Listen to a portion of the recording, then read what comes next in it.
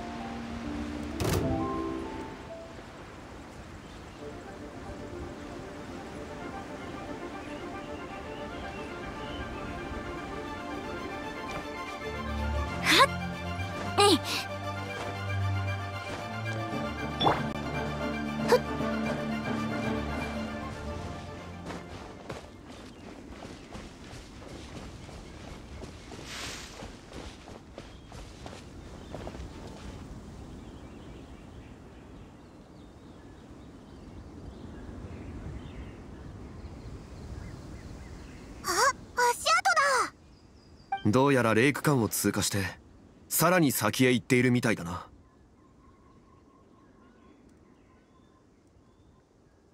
足跡を追えば彼らの行き先がわかるはずだよな。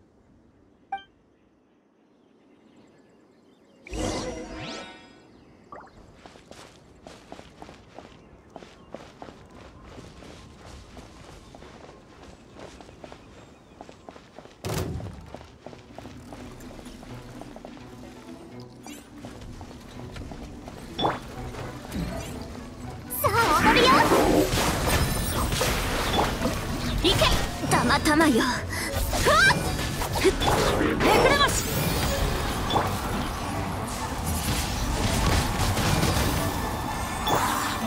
陣営のごとく。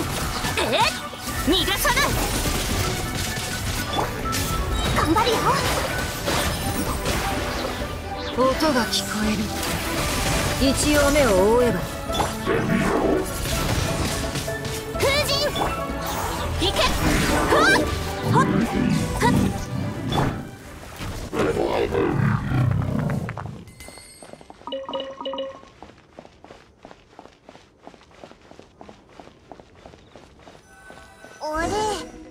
跡がここで途切れてる付近の人に聞いてみようもし甲府たちがここを通っているのなら誰か見ている者がいるかもしれない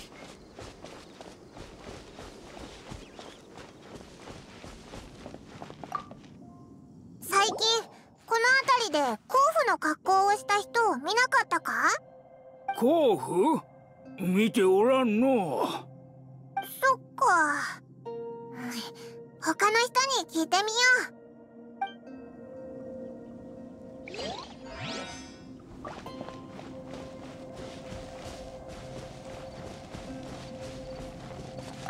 こんにちは。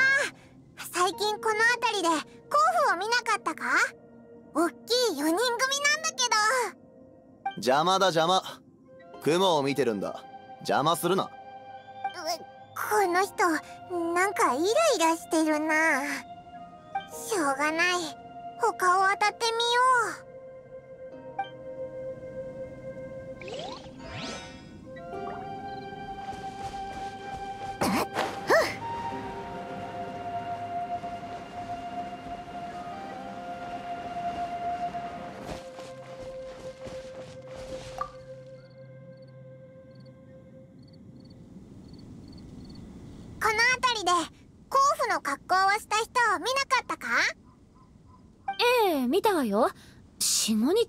ったかしら？何人かここを通ったわ。カゴを背負ってツルハシを持ってたわね。おそらくその人たちがそうじゃないかしら。そうそうそれだ！45日前。どうやら彼らの歩く速度は予想よりも遅いようだ。おそらくはレイク間の地形に手間取ったのだろあの人たちすごく変わってたわ4人の大男が眠そうにぼーっとしててね。先頭には子供がいてゆらゆらーって。うその子供の姿ははっきりと見たか？ちらっと見ただけだけど青い髪で背が小さかったわね。多分女の子だったわ。それにその子すごく真剣な表情をしていた。少しも笑うことなく。彼らが歩いたのはこの道か？そうよ。ここから先へ向かったわ。オイラたちもおお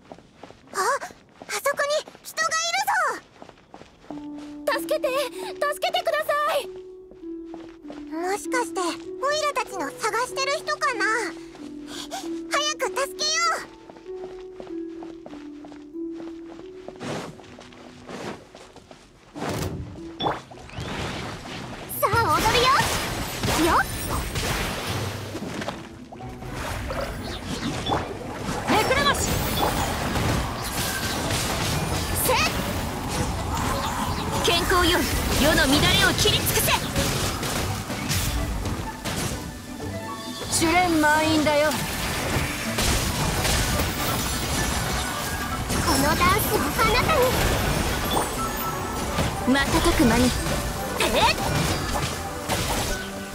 急がな。いふっ。ああなんて激しい。陣営のごとく。はっ。行くわよ。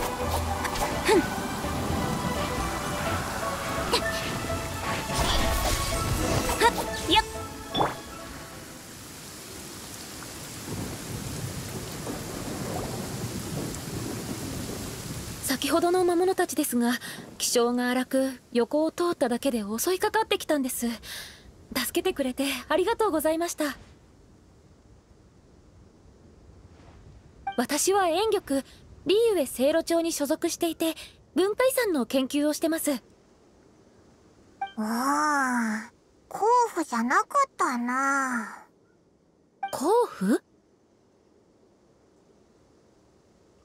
オイラたち4人の候補を探してるんだ。みんな背の高い大男で採掘に使う道具を持ってる。あなたが言うその人たち私見たかもしれません。本当か？はい一昨日のことです。南天門からレイク館へ向かう途中反対側から一人の子供と何人かの大人が歩いてきたんです。それが急いでいたのでよく見ていませんでした。顔の特徴とかは覚えてません。ごめんなさい。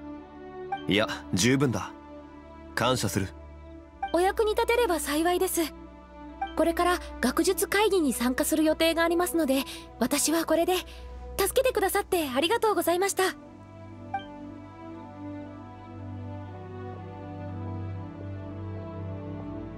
さっきの学者によれば甲府たちは南天門の方へ行ったみたいだな。でも同じ人たちかどうか分かりませんよ。子供と大人のグループなんてめったにないだろう。えいじゃじゃあ。ああそこの石を見てください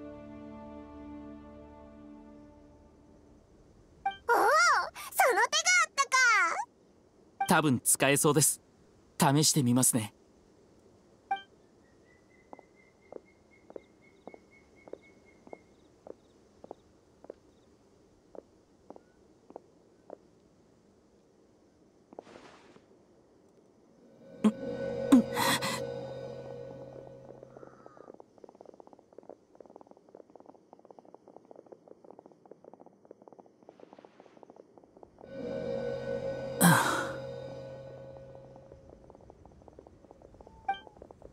間違いありません。同じ人たちです。この道に沿って進んでます。君主殿が石から記憶を読み取るところは何度見ても興味深い。こんなことは普段何の役にも立ちませんが勝利先生にそのように言っていただけて光栄です。君主はオイラたちのコンパスだな。お前のおかげで迷わずに進めそうだ。そうですか？同行した甲斐がありました。うん。この感じ。事件を捜査しているみたいで面白いですね。それは結構だが警戒も怠るな。4人の成人男性がほうけながら連日子供の後ろをついていき山を越えている。これは尋常なことではない。はい。その通りですね。勝利先生は実に慎重なお方だ。それとあの学者を襲ったベビービシャップだがあそこまで攻撃的な魔物ではなかったはずだ。ここに至るまでに様々な手がかりを入手したがそれらと一体どんな関係が？甲府たちは一昨日南天門へ向かった。ここから行くには険しい山道を通ることになる。仮に彼らの目的地が南天門ならば追いつける可能性もあるだろう。先ほどこの近くに印を残しておいた。万が一タイ殿が追いついてきたら印をたどって俺たちを見つけられるだろうう。さすが勝利！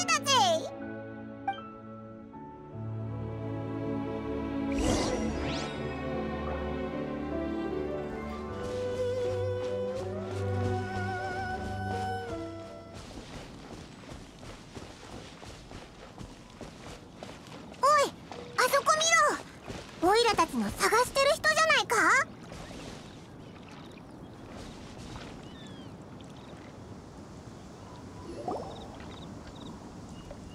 横にカゴも落ちてます。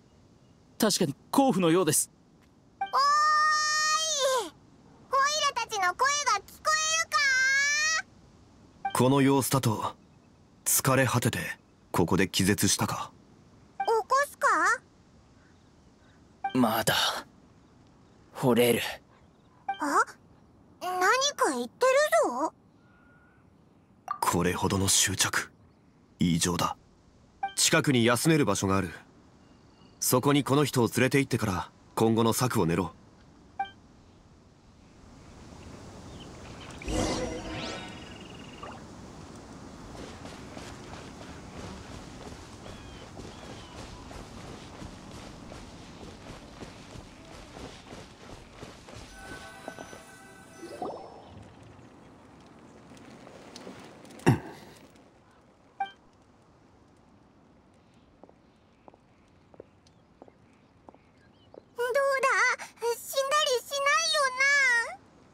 過労で昏睡状態になっている。幸い命に別状はない。なおいらさっき聞こえたんだけど何か掘るって言ってたぞ。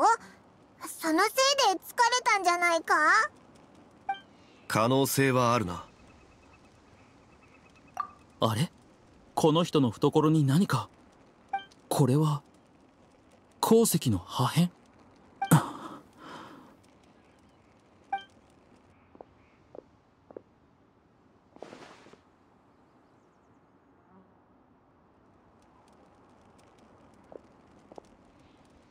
皆さんこの人が持っていた鉱石の破片の記憶を見ました。この破片はこの人が鉱山から持ってきたものです。この人は確かに僕たちの探している甲府の一人のようです。その彼がここに倒れていた理由一体何だと思う？誰かに連れ去られた後ここに捨てられたとか。でもそれならなんでここまで連れてきたんだ？何かが起き彼を一行から外すしかなかったのだろう。うーんうーんダメだ。全然わからないぞ。あそうでした。この破片を見て思い出しましたが皆さんに渡したいものがあったんです。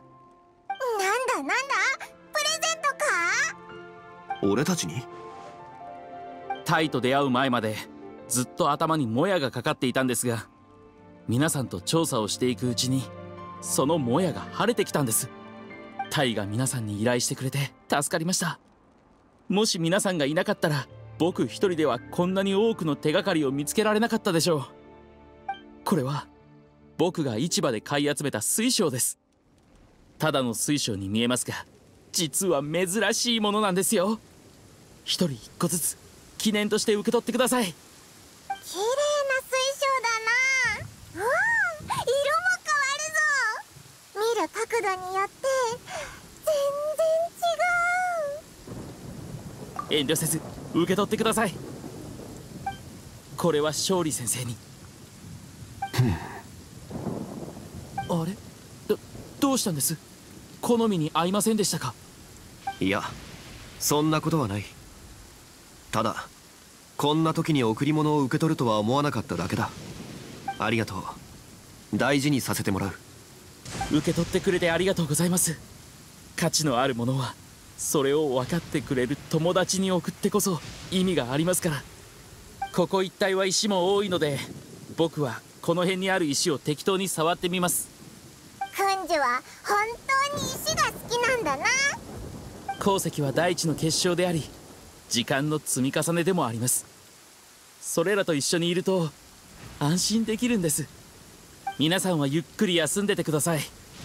出発前に一声かけてくれると助かります。僕はすぐ近くにいますので。心配するな。さっき周囲を見たところ危険はない。そうだ。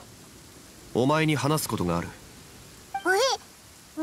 なんか深刻なことか？旅人。陳流石についてどんな印象を持っている？探してる鉱石だよな。何か特別な意味でもあるのか？陳流石は鍛造に使われる珍しい鉱石だ。